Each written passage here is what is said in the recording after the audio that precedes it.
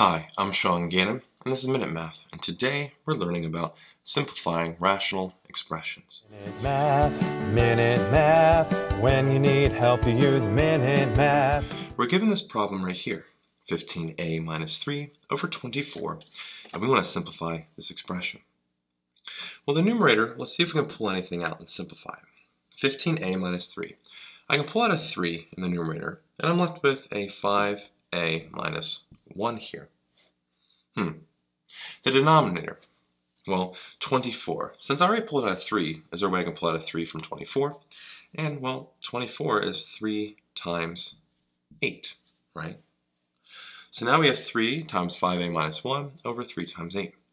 Hopefully you can see we can cancel these 3's out, leaving us with just 5a minus 1 over 8, and that is our final answer. I hope this video was helpful, and if it was, please subscribe to this YouTube channel and like this video.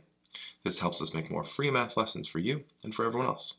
So as always, thanks for watching. Minute Math, Minute Math. When you need help, you use Minute Math.